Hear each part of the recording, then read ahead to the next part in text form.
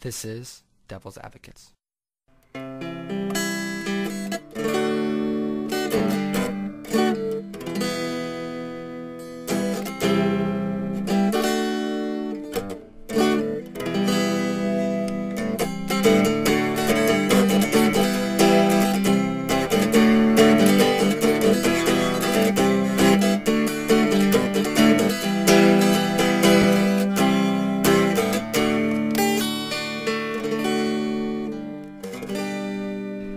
We celebrate the Easter holiday, we're celebrating a specific person. They're celebrating the resurrection of someone, someone who has died and come back from the dead.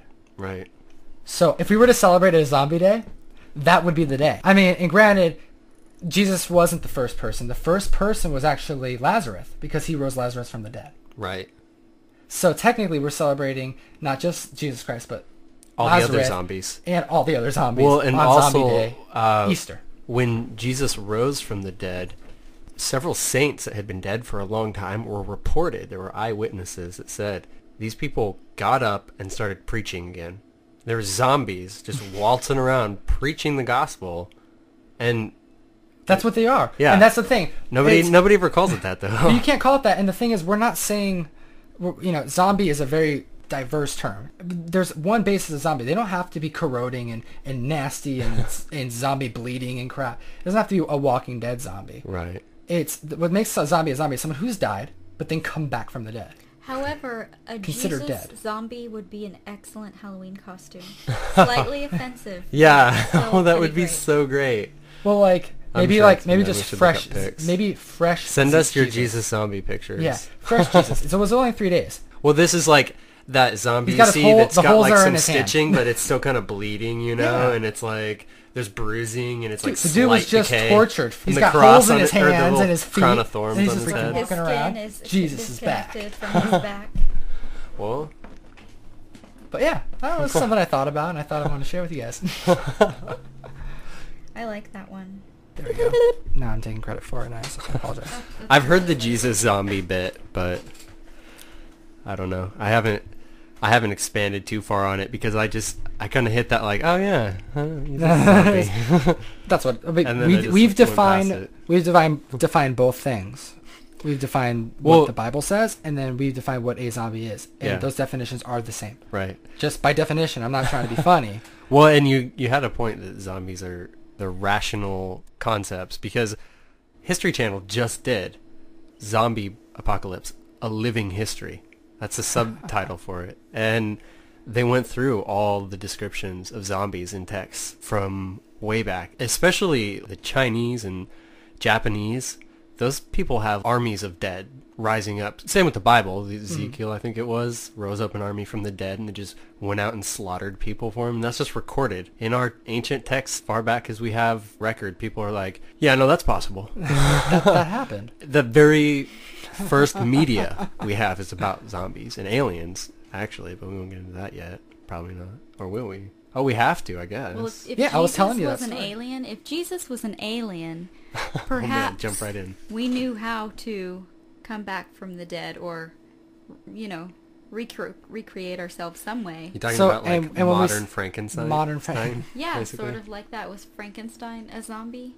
He was the original He was a horror zombie. monster. Yeah. They, I think they would consider him a monster, but technically he was pieced together by dead parts, so he Yeah. is a wa- the walking and then they reanimated his dead parts with high voltage electricity, some odd gigawatts. Those so I'm, I'm, I guess I'm suggesting that Jesus was an alien, and he had the intelligence to come back to life. Hmm. An alien, we're not. You're not meaning like alien with you know green from No, perhaps know, he was a like a, human. a, a traveler. Yes, Maybe. Somebody Maybe of some another from land, another- you're saying? Another Yes. organism that's in our galaxy. but maybe human-like. You can do cross comparisons there in a lot of places too. I was talking to a friend, um, one of my coworkers. She's going on vacation pretty soon. She's going to Hawaii, and she it sparked the conversation about where we would want to go. And I said, you know, my next place that I go to, it's going to be Peru, Yeah.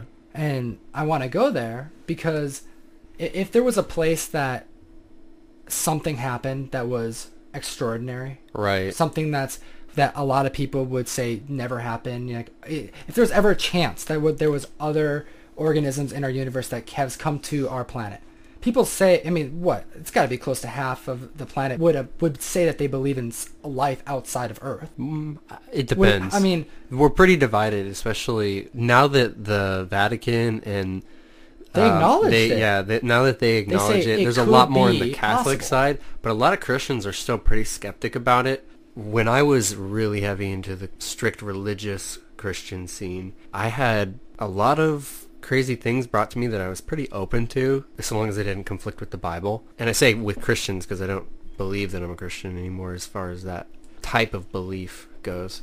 But some of my beliefs are similar. And the one thing that was really hard for me was the alien thing. I had this really narrow-minded view that there was only Earth because it was impossible otherwise. And now because impossible was going against what you're being taught. yeah, and, and life was, was not spontaneous. It was created. But science does disprove that. And for me to just say, well, that doesn't count, or science has been disproved, well, you have to go with what's currently proved.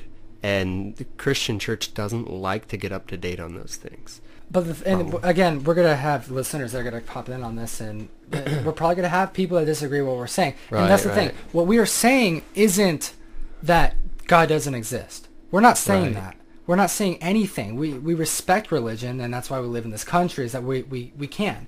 But what we're saying is this is what is happening. It's facts. Science says this. We follow. You believe in gravity? Well, Right. science says that. And if you believe in gravity like everyone does, then you have to at least acknowledge science also says this. So, if science says the Earth is older than a couple thousand years, Right. we can't just pick and choose. Oh, well, that's not. No. we- We're acknowledging that this is the way it is. to in order to make your religion not a hoax, mm-hmm. which even as a Christian I knew that it was to some people that mm-hmm. modern society saw us as just sort of a a joke. And it felt bad. It was painful. It made me very defensive about it at times. But I'd have to say that understanding that made me want to prove Christianity in a scientific way. And I definitely sought to. And there are books published on it and stuff. The problem is it's from their side of the fence. And no one's willing to try to get over into what the secular, quote unquote, and what they call secular world uh, views on the matter. And it's not that hard. It's really not. If you if you look at a couple of things about the universe and what the Bible gives account for, and just to ask yourself what makes sense, and you'll come up with some pretty crazy stuff. You'll want to stop yourself from imagining some of the stuff. It's the way you think of things will, you know, logically bring you to these conclusions. And as a Christian, you're like, no, that's not right. And then exactly. you yeah and then yeah and then you hate yourself for it you feel guilty because that's how they taught you to oh, be yeah. and then you finally face it someday and that's what i did because i have to face reality So when we talk about things like these ideas, we're not uh, saying this is what happened. We're just going on what parties have come up with. Right. The Vatican, uh, the Catholic leader, Right. The, the the Pope has said we recognize as a religion. We have told everyone that life can exist on other planets. That there Yeah. could be more to our Right. galaxy. that was so smart of them as we advance as a species, science is more is going to continue to prove. Technology is getting better. Mm-hmm. We are going to be able to one day say definitively, this is what we have proven now. right And the church needs to be current with the facts. And Stephen Hawking said, just by sheer odds, with what hundreds of billions, is that right? Or hundreds, hundreds of millions of galaxies. I, i'm sure billions I know. Well, at least in Billions the millions, possibly sure. billions of galaxies. Right. It's an inconceivable number and distance of space yeah he says that just the sheer odds it, it has to i mean it just makes sense right so as soon as you say yes i believe that it's possible that there's other things in our galaxy what if they were here right what if they knew how to get here what if they've been here Right. Well, and, and even the the things that he considers too, like the probability of life over time. What are the odds of something happening?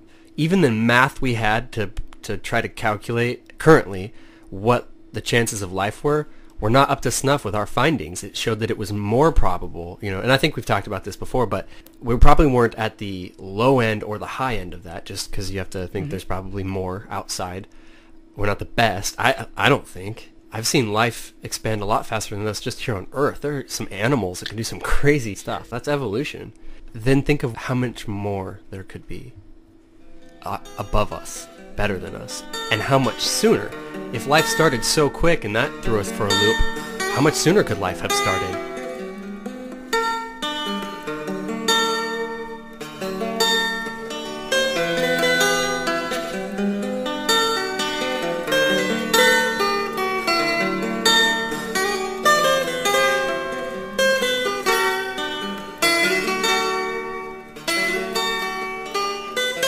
Seminar where a bunch of rich people with a lot of connections get together and talk about space stuff and all sorts of science breakthroughs. And they had sent a probe out past Saturn.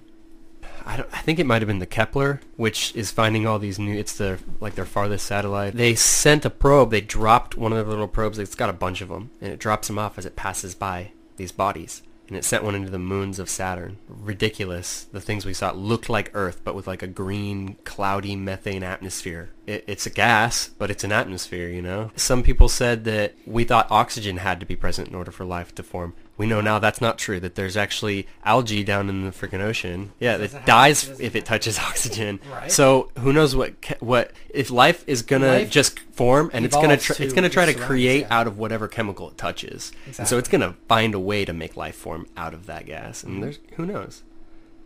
But yeah, No, I uh, I remember reading an article about that online. So that Is that the one where it was saying that the conditions on this planet are the closest no? So that's this is just a moon that they touched down Okay. on. They sent like a little pod off into a moon in our solar system. This satellite that's out there that's dropping these things off because of how far out it is, it's able to get the clear shots. So this thing, not only is it finding potential planets everywhere, which if you look online, I believe it's um, SETI. Uh, go to the SETI program and you can search through stars, their lights and their their planets that revolve around them, and check to see if there's actual planets and and uh, they're cool. they're gonna they've they've used these algorithms to find livable planets so far. Are But- these rich people planning to claim land once they find an inhabitable planet? Well, that's what you wonder because in our developing history, that's how it worked. right. Right. But in, even if there was things already living there, and that's what we're doing, we're trying to find planets with life on it. What do you think's the first thing we're going to do as soon as we find life on it? We're going to take a sample of it. We're going to stick our grimy little hands into the soil, take a huge sample, find out what's good about it, and then we're going to say this is ours. and if there's stuff, if there's living creatures on that planet and they're dumber than us, you can bet your ass we'll be doing experiments on them, genetic, everything possible to learn about life that formed on another planet. Are you kidding me? That buy me a ticket. that is what people would do if they found us when we were primitive. And there's a good chance that they did, and that's the reason why we are where we are now. it could happen. Yeah. And that's, That's the the potential. That train of thought that you just had, that whole our whole conversation, it's all theory, but you have to recognize that this theory is plausible. And if you if you say yes to any part of that, that yes, it's plausible, you have to be able to rationalize that it could be the same somewhere else. Right. And going back to religion real quick, you can't discredit God or say that it takes him out of the equation. But you also can't say it's a, he's a part of it fully. All you can say though is that your understanding of what God is is not right, which if you're a Christian and you're humble and you know the Bible, then you should already believe that mm-hmm. because it says he is beyond all comprehension. Stop trying to comprehend him so, um, and that's basically what Jesus' message was when he gave the parable about the wives and whether or not they should worry about who you're married to in heaven. His message at the end of that in most disputes was, don't worry about it. Don't worry about the stuff down here because there's a lot better principles that are higher than you that you should be focused on. Look that's what Job. he said. Look at That's interesting. Then there are a great number of people who claim to comprehend God and what He wants and how He wants everyone to act and and Mm-hmm. what He wants everyone to do and what kind of life they should have. I think Penn Teller said it best when he said, you say God's indescribable and then you keep trying to describe him. Exactly. If that's the point, but... That is the point. Well, look at Job. Same thing. Mhm. He's had everything like taken away from him. You know, it's it was basically it was all part of a bet. Um, Satan says, you know, your your follower, he will lose faith as soon as some bad things happen, even though you are the creator and that you made him. He will turn against you. And God said no, and Job had everything taken away from him. everything was taken away from him. He got sick, right? You know the Mhm. story better, probably better than I do. Got sick and everything was bad. Oh, yeah, I- but he kept his faith, Memorize that one. and he kept his faith. And got his- more and back. It, was his friend, right? Wasn't Yeah. it his friend who who said something along the lines of, "How dare you try to rationalize something that we can't even conceive? Right. It's so beyond you. What Right. anything he does." Well, yeah, and, and the, the uh, the whole message there was that you don't know the conversation going on behind our backs between God and Satan. and he flips it around and saves them. And there's some good actual life lessons, not just life lessons, but like universal lessons in there too. And what he's saying is, don't you know? There's some things that you won't be able to rationalize because it's so beyond you. Yeah. There's so many other things at play here. And as soon as you say yes, that's that's what he says. That's what the Bible says. Right. You need to be able to apply that to everything. It just you can't pick and choose. Yeah. Well, you want a literal example? Sure. That exact principle of Job. Th- he gave it to us in this parable. Now, granted, I'm not saying that that Job didn't happen. In fact, I think it did. Job probably received a message from somebody who had information about that principle that was beyond what his the people of his current time could really get with their philosophy and with their teachings. Mm-hmm. And today we actually have a philosophy that fits right into that and it's the law of attraction, which whether you believe it or not, it exists in the universe on some levels. Scientists have proven that. You be appreciative for what you have and you let go of it. It's like holding a butterfly, you know, you if you hold it too tight, you'll crush it. If you open your hands, it'll fly away. And these are this principle, the whole construct of that idea is actually in almost every single religion and it's given to primitive people by gods. And that's To according to them. We're not. We're not. Right. And you're not throwing words. And these are their accounts. They're saying say from God. gods came from heaven, and, and so I'm, so just rationally, you take what they saw, something greater than they were, some people who knew things beyond and outside of what they knew, Mm-hmm. and had this concept uh, that would give them a better life. And they knew, you know, if they just followed that, then all the other stuff will come. They're trying to do the same thing. That right there, and hey, that could be aliens too. I, you know, I know that that's the big consensus in the ancient alien theory is that's what happened. And that brings it to light. I mean it explains something that would otherwise be unexplainable because in modern society our culture doesn't let us believe in fairy tales. You tie in a view that is based in what we understand now that they mm-hmm. couldn't have understood then and it makes so much sense. You can credit what we saw, you know, these stories that were passed down to us and other religions, you can date it back in, in a way that would say it's plausible. When we say the word alien, it's really important that viewers don't think that we're saying that we're describing ET. Right, a green Martian with Yeah, antennae. we're not we're not talking about aliens at X Files. You know, they want to come and take over the world. We're not talking about that type of media alien. We're talking about an organism that did not derive from Earth, Had astronaut gear. Had the intelligence to create astronaut gear and or fly or, here. or a way to Maybe. travel here. Yeah. I mean, eh, that's it's not that we we've been to the moon. However, We've if we discovered else. another planet, I I'd be afraid that a lot of people with rifles would just go and take over the place. Right? what if the people there had rifles and they shot at us Then I say we're lucky that our gods did not have rifles and they were more civilized than that. I, I don't know. You look at the Indian religions, and there's a lot of talk about some of the gods that would fire a single projectile, and it would take out a whole city. What does that sound like? So you've got Sounds like a missile. sounds like nuclear warfare, if you ask me. And you guys should check it out if you're interested in the in the Curiosity landing and about possibility of life anywhere or being contacted ever before. You got to check out Eric von Daniken's Chariots of the Gods, originally called, and I think more appropriately, Memories of the Future. There's a lot of stories that that different religions. So we're talking about different groups of people, large groups of people, believe. and where peop- where beings in different religions call them different things. Some call them gods. Came from above, the heavens, and caused change. They did something to impact us. And and what we're suggesting is that if we were to take it literally and apply what we know it from science, that could be another organism from another planet. Right. Right. And I think it's important for us to at least ask those questions, which is his point when writing the book, is to put the questions out there, not to say this is what happened.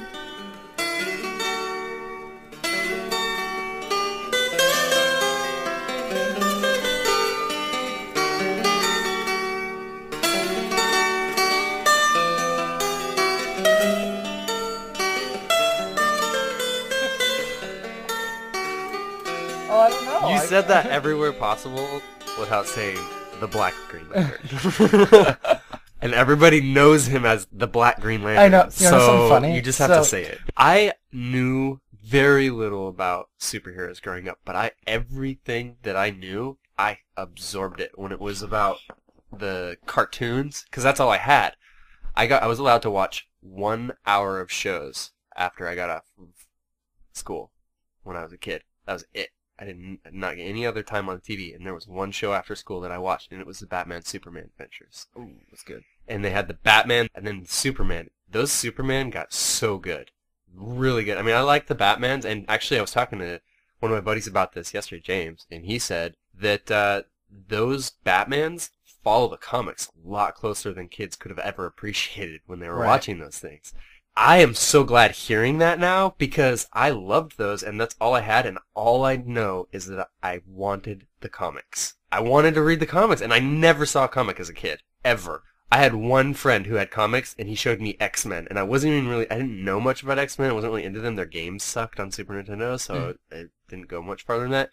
And he planted the seed for Wolverine in me and like to this day, I think Wolverine's got one of the best stories. But that being said, dude, comics, that was like a world that I wished I could have been a part of. 18 years old is when I really kicked back into gear. Like I, I always liked superheroes, and I got more into them as I got older. But once I hit 18, that's when I started reading comics again. Yeah. I got into Walking Dead, and I got into all these kind of the fad ones, and then I started collecting, and then I started selling, and then now Geek Street's the business that I spent a lot of my my time on. And we can't go back without going back to the exhibit that we first went to together. The Oh, yeah. Key Arena in Seattle. It was uh was it Jet City? Yeah, I think it was it was Jet City. Your dad owned Geek Street at the time. Yeah. and we were going to, to help to work for him. It was the first time we worked in comics together, and that's where the fabled picture, which now hangs in our podcast room, where the with the uh, we'll put it on our Facebook. Yeah, we have need to. we need We're to gonna tag it there. for our Devil's Advocates Facebook, so you can see it. Yeah, it's but- pretty cool. It's a Boondocks. Boondocks. It's a comic, Comic book, book drawing, drawing. of us as the Boondock Saints, pretty much. You have to step outside the realm of the first judgment of it that, okay, aliens, we think of Mars attacks. And comics, we think of little kid Right. cartoon books. But, I mean, I'm holding a 2011 Overstreet. Oh, you know this, but to kind of give anyone per- perspective of what kind of changes we're having in this, I mean, I wouldn't even would really say it would be a, a hobby, but a collector's market. yeah. So we have this, uh, this, this is an Overstreet price guide every year. This is kind of the, uh, comic book collector's Bible, if you would. They Everything's based off, yeah, it updates prices and, and it gives, um, collectors a current value of comics that are changing every year. Every year we're seeing changes in prices of just incredible dollar amounts and there's no stopping it is the thing because as our culture is progressing, the more these characters and this history and art, it just increases in value. And I can kind of give you an example. And I'm not even going to use a huge comic. I'm not going to use the first Superman. I'm going to use um, Hulk 181, which is the first Wolverine. Hulk 181. Yeah, so Hulk 181, we have a um, a 2010 near mint, which is like on the low end of a perfect book, a near mint minus that's estimated value of $1,600. Okay? That's 2010. And then in one year it's 1700 So that's a 3% increase in this book. This book has increased 3% this last year um, on the low end of near mint, but on the high end has sold for twenty-two to twenty-four thousand dollars, graded at a nine six to nine eight. wow. That's on a 10 point scale. Yeah, on a 10 point scale. And here's a better example too. Amazing Fantasy 15. This is the first appearance of Spider-Man. 2010, a near mint price was $100,000. Wow. All right. 2011, $125,000. Right. That's an increase of 25% in one year. Right. Now, granted, is that going to continue happening? Probably not. right. But those are the on the holy grail end of it. yeah, yeah. We're seeing ch- changes of 25 plus percent. That's for holding on to it sealed in a box. Like if you can, if you can, well, you pay 50 bucks, you get the CGC to grade it. They tell you for sure what it is. That ups the value right away. And then it's stuck in that condition. So you sit there for a year and now you've got 25 extra grand yeah. on And what's top of it. What's interesting is that the the only type of books in the last two years that have lost value um, have been Western comic books. And when I say lost value, I mean on the highest end of it, thirteen percent, in a loss. Okay. And we're talking one genre of books that have been dominated by mystery, science, and superheroes. right.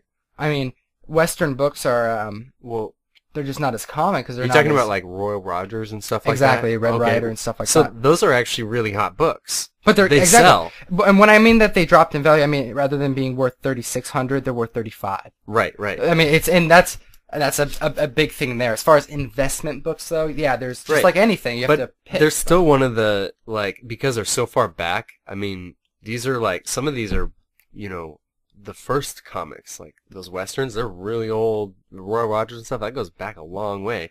And you basically have one of the higher end books. Anytime you find one of those, they're worth money. Someone will buy them, and and that's the field that's going down. Well, it doesn't surprise me.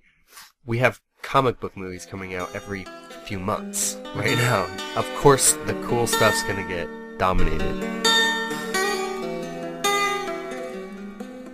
None of this would be possible without our sponsors, Geek Street Comics and Avantech. Check out Geek Street Comics eBay store at stores.ebay.com forward slash Geek Street Comics. Check out their key comic books and grab bags. And also, thank you to Avantech for putting together the website, making all the tech aspects of this show possible. You can also check out our website at devilsadvocates.tv, download all of our podcasts and shows any links or information. We would also like to thank our sponsor and guest speaker today, Tiffany. She is owner of Thrive Massage Therapy and supplied us with our studio. Check out her winter pricing at thrive-massage.net.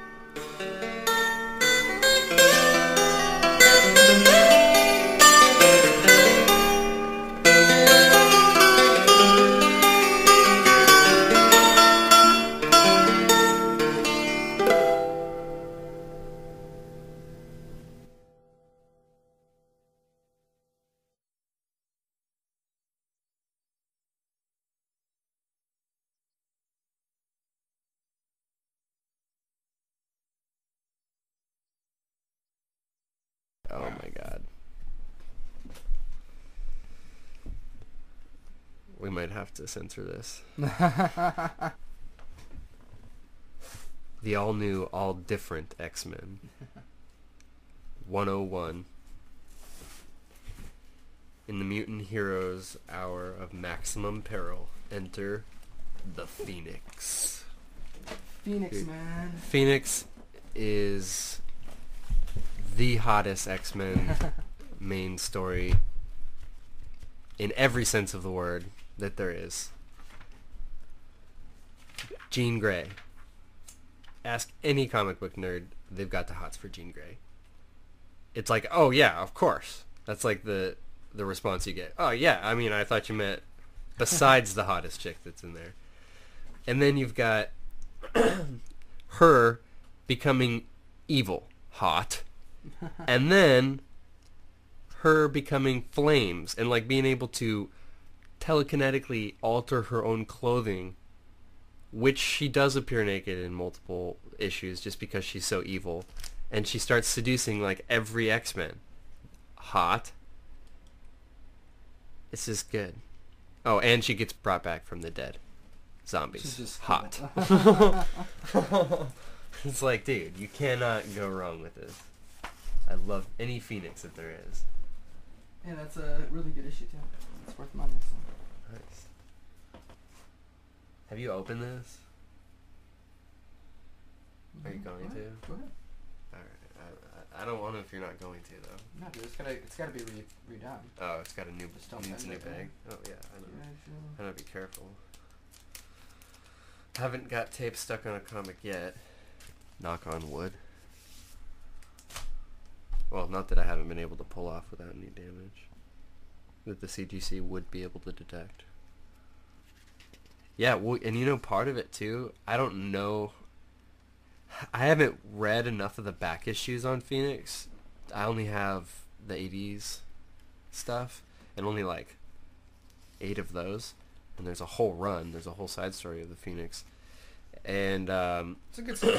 I like it. um, yeah, some of them are a little crazy. But you know what? I was looking at one of those issues. You've got like fr- from the 70s and the 80s and stuff. They had some really tacky outfits, and some of them for the because it was the disco era, and they were they were coming out of it and they were still dressing these comic book characters this way as if it was still that time. And it's it's lame, but you know what? Follow the stories because Right. there is some good stuff in there.